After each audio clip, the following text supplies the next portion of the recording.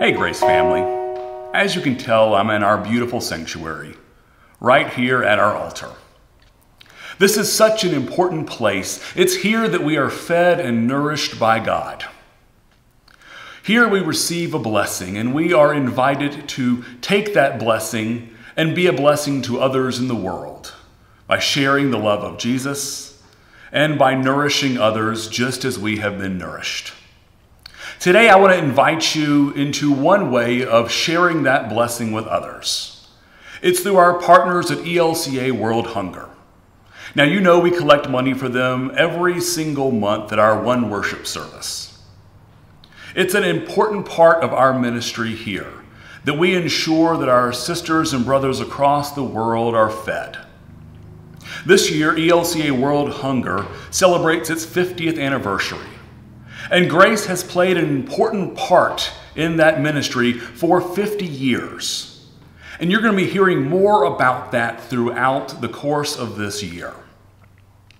But today I want to share with you one way that you can help celebrate the 50th anniversary of ELCA World Hunger.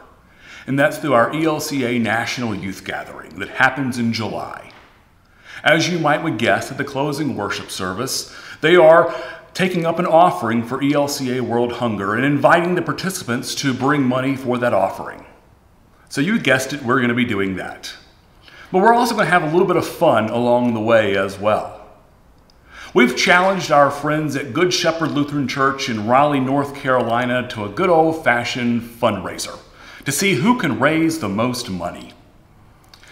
Now, the winner is going to see the bishop wear their youth shirt, and I'd like to see that wouldn't you?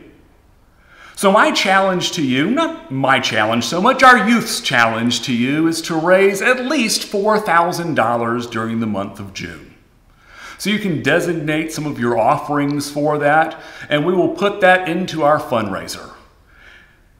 Hopefully, we're going to win over Good Shepherd in Raleigh, but the real winners are our sisters and brothers who are in need of food across the world. You'll be hearing more about ELCA World Hunger throughout the year, and we'll be raising some additional funds. But would you join with our youth, the youth of Good Shepherd and Raleigh, and the youth across the nation, in raising some money for ELCA World Hunger to help feed our neighbors in need? I know you can do it. Thanks.